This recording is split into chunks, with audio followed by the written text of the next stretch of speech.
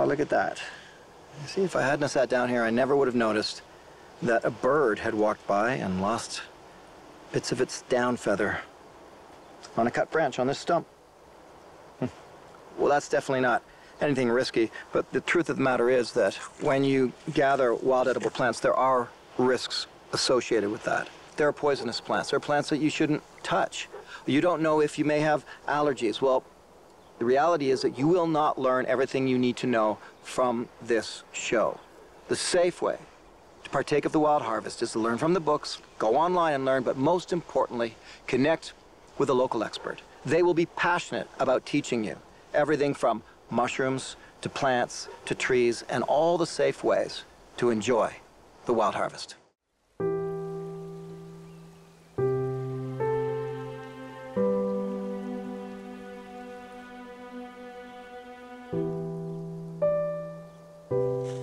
There's so many ways that I enjoy gathering from the wild. I mean, I love to come out just on my own, gather one or two plants, bring them home, have them for dinner that night. Other times I might have to gather two or three plants and process them. That could take hours, days, even weeks. But probably the more fun way to enjoy this wild harvesting is with family and friends, and a little community. See, sometimes the plants are incredibly abundant, but they might be tiny. That means gathering them is going to take some time. So many hands make the toil light. And so this is when your friends and your family, like you, can enjoy the wild harvest.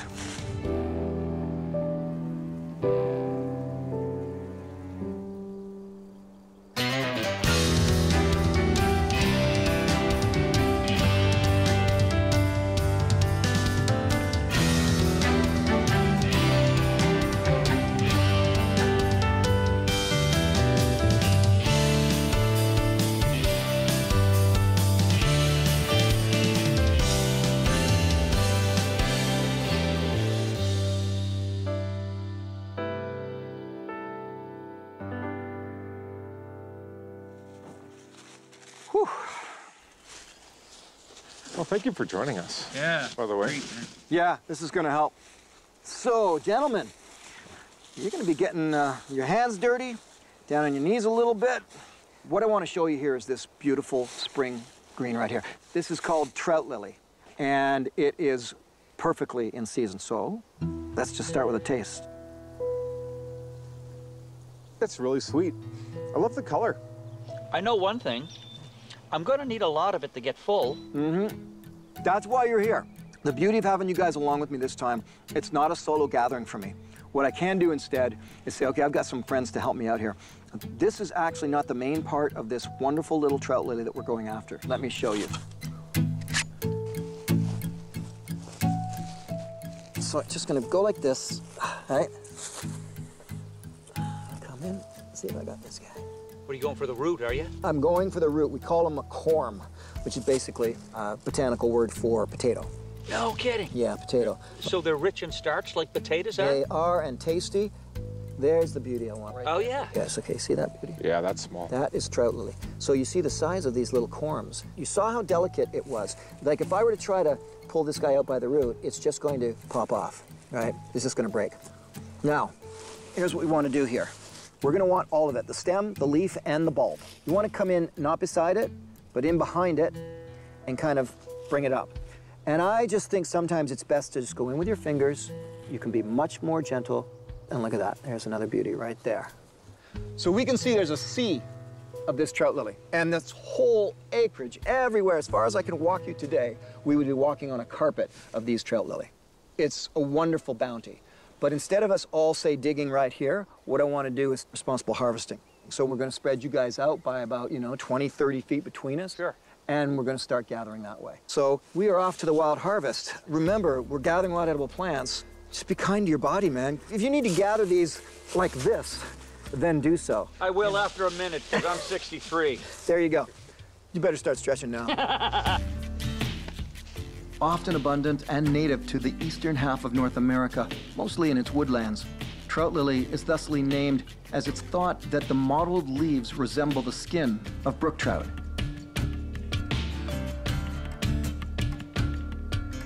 I think this is probably my favorite way to harvest is to get down low to the ground like this and uh, just dig in with my fingers, come out with the bounty. Between the three of us, we may end up with a nice little haul.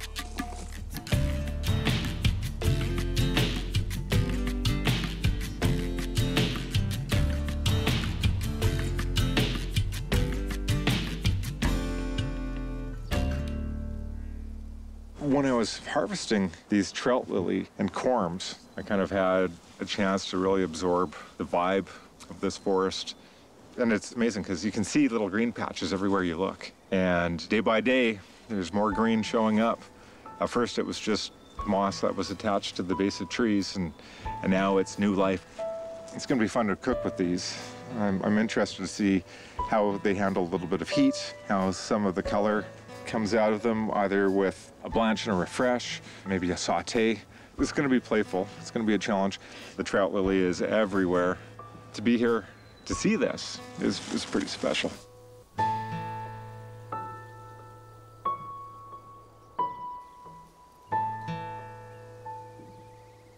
Oh, all right, boys. Right on. I still have another ingredient for you. Oh, that's maple syrup. No, it's not. All right. But it is a syrup, and it is pretty amazing. Here you go, Ronnie. Have a taste. Be greedy. Be greedy. Paul? So, what do you think? That's really good. That something? It's wild honey. It's got to be. That's one of the ingredients. It's a second ingredient to this. Is it giving it tang? A Yes, a- it is exactly. It's interesting you say that because that's exactly what it's supposed to give it, is the tang. Okay. This is honey and sumac, staghorn sumac. I gathered the staghorn sumac berries last August, put them in the freezer for almost a year. And then last week, I pulled them out of the freezer. I made a very dark broth out of them, strained them out, added the honey, and that's what we have. So you now are going to be working with staghorn sumac and honey simple syrup. What's the sumac like not being cut with honey? Well, actually, when the sumac is not cut with honey and it's just the simmering in the water and you strain it out, you're left with my third ingredient for you, which is going to be our tea this time sumac tea. Very lemony, tart, but clean. Isn't that good? Yeah. So, yeah. Nice. There you go. So now you've got the trout lily and the simple syrup is honey strong with a tang. What do you think you're going to do now? I'll be eating it, regardless. it's nothing generic. No, it's just in its own world, Yeah, yeah. its own flavor. It's an authentic taste. Well, it's wild. But this connects you to something deeper than just the grocery store aisle. Mm-hmm. Thank That's you. what I'm digging. Absolutely. In North America, staghorn sumac is one of our own, not a traveler from overseas. Native to the Midwest and eastern half of the continent, it's abundant, beautiful, and delicious.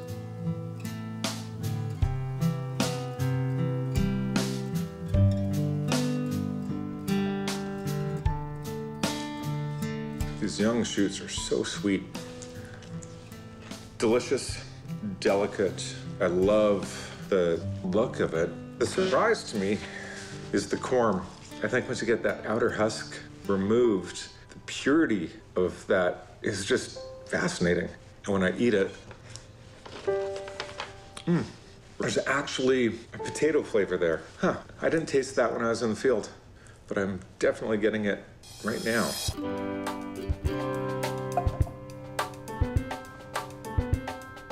That outer crust comes off really easily.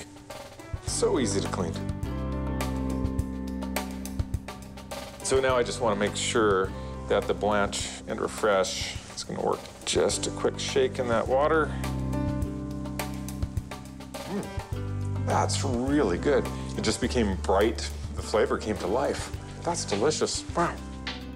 Now I want to try this corm.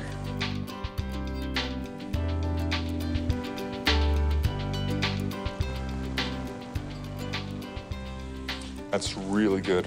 It's pleasant, sweet, it's delicate, especially compared to the, the leaf. The texture is what I, I think is a win.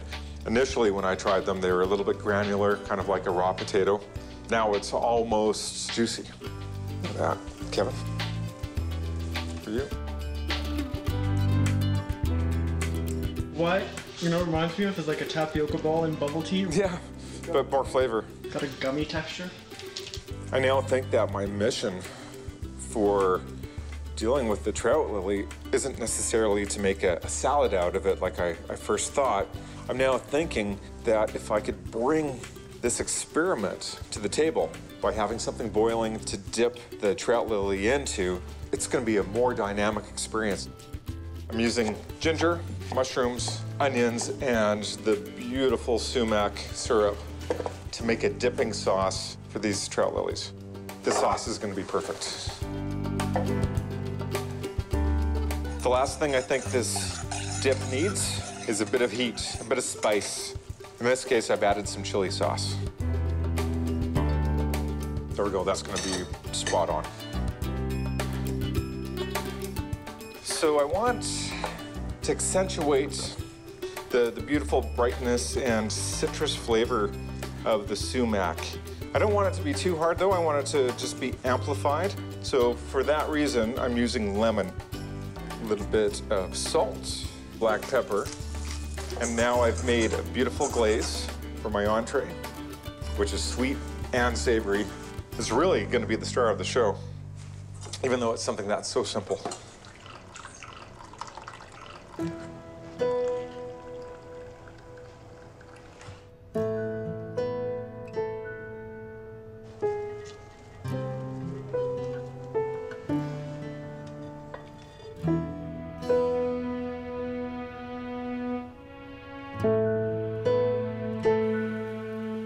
Gentlemen, Oh, here we go. Ronnie, this is oh. for you.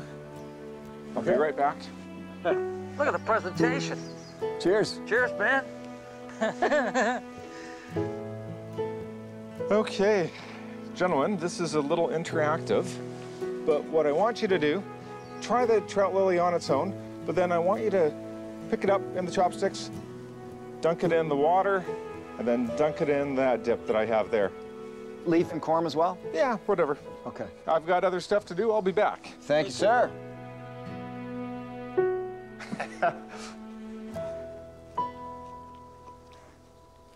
That's still good. There's always some kind of flavor that has to do with wild edibles that you will never find on a grocery store shelf.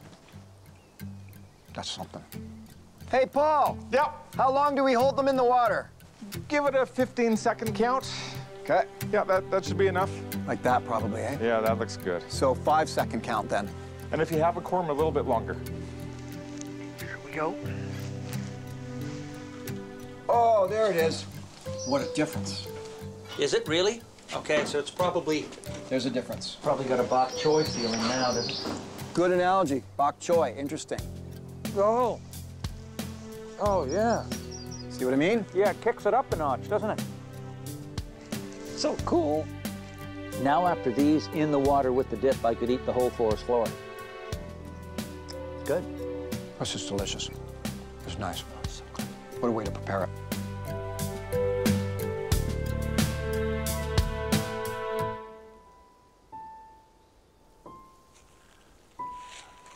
Oh, I love these little guys here for plant identification.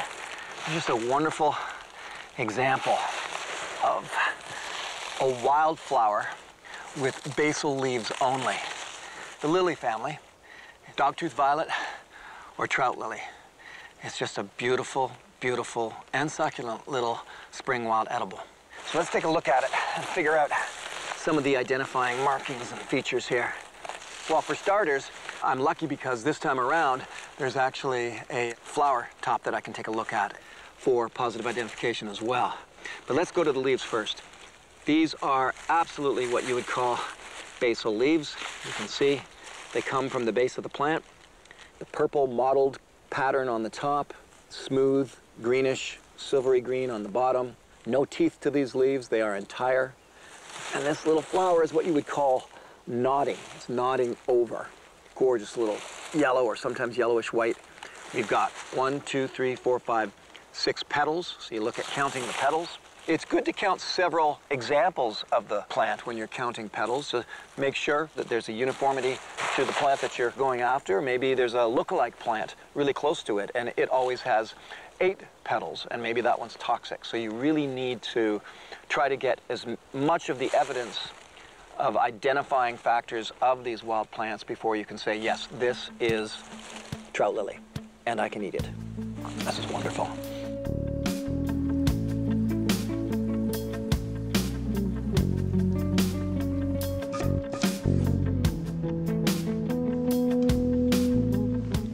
Another playful idea using yogurt as a base for a sauce. Yogurt, sumac syrup. Oh, that's fun.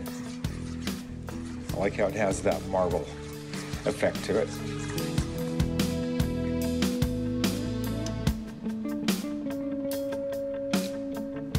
Undeniably sumac.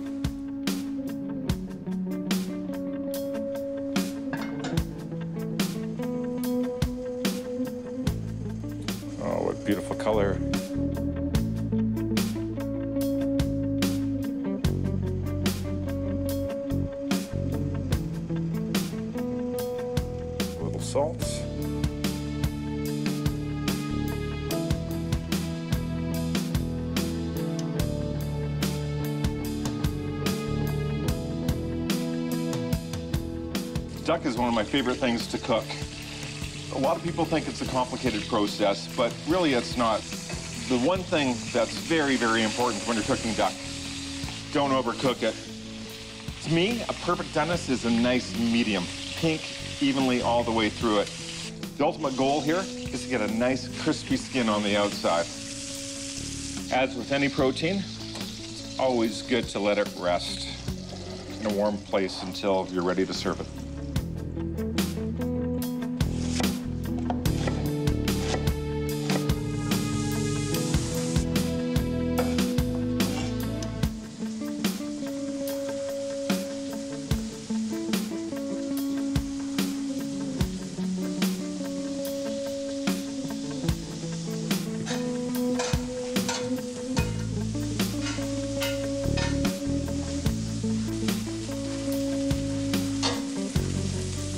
Hit more salt.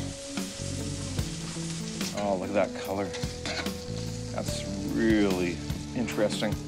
The corms are so white, and the greens are such a, a deep color of green, just like wilted spinach.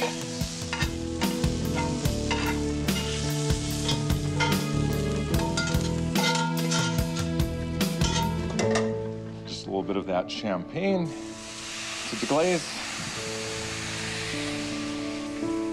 Sumac syrup.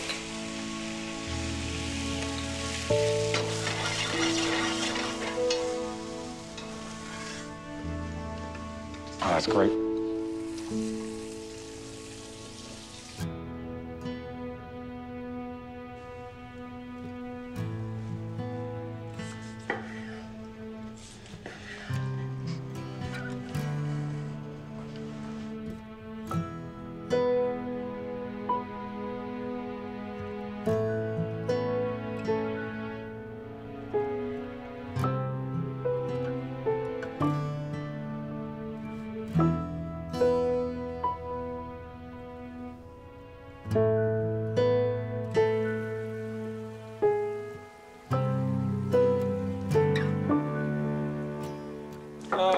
Great is that? We are ready to eat. Oh, have a seat here. All right, here it comes. Put a spot in front of you. This plate's hot. Oh, that's what I'm talking about. this is so much fun. Tell us, please, Paul, what have we got going on here? This is the story of sumac. Remember the syrup from last yesterday? That syrup became a glaze, it became a sauce, and it became a foundation for all the different things on the plate.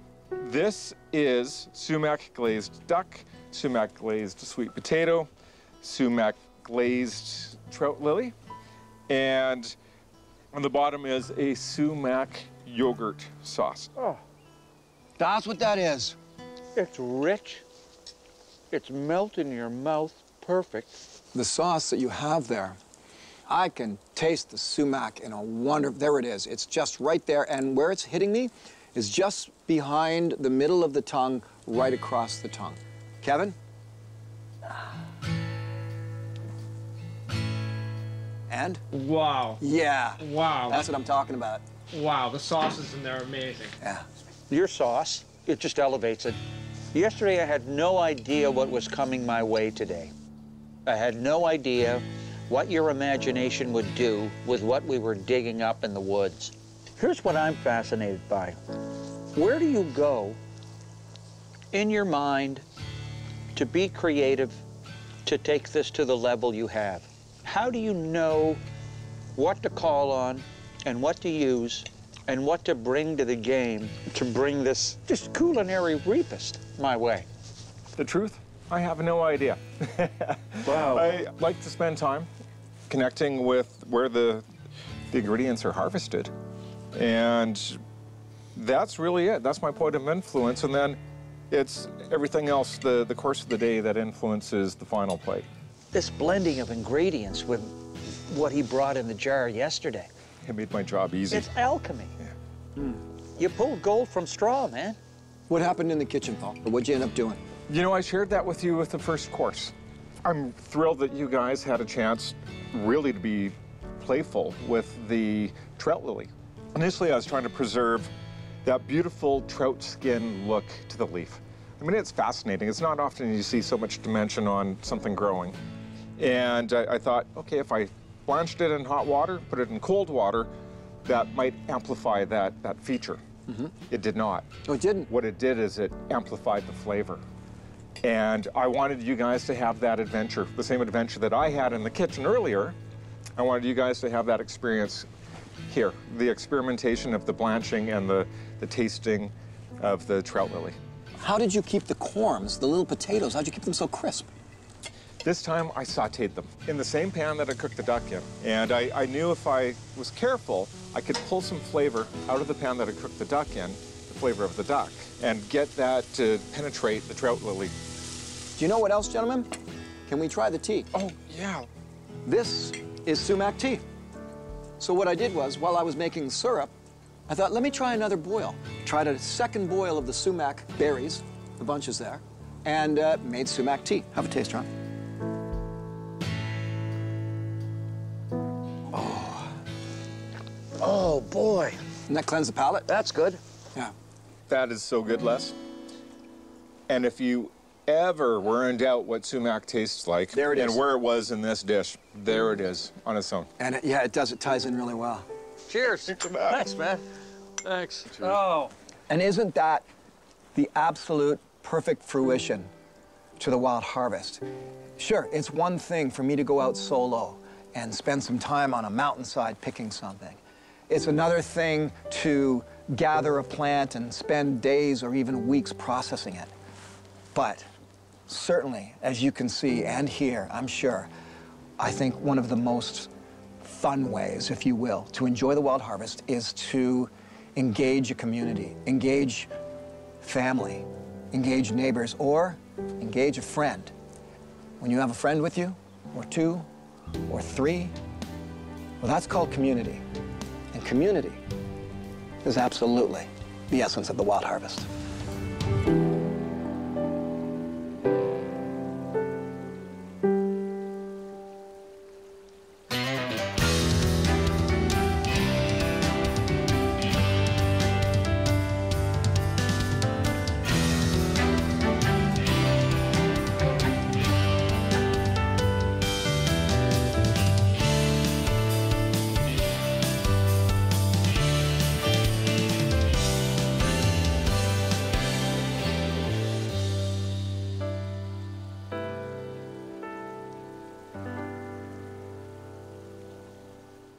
If you'd like to continue the Wild Harvest with me and Chef Paul Rogalski, then please check out our website at wildharvestfilms.com, where we have recipes and foraging tips along with deleted scenes and outtakes from the making of Les Stroud's Wild Harvest. Directly inspired by the series, Chef Paul and expert forager Les Stroud bring you the Wild Harvest Season 2 recipe book. Highlighting all of Paul's dishes and complete with behind the scenes stories, it is available for $29.99. In addition, a DVD of this season is also available for $19.99. To order, please go to wildharvestfilms.com, Wild Harvest TV show on Facebook, or Les Stroud's Wild Harvest on YouTube.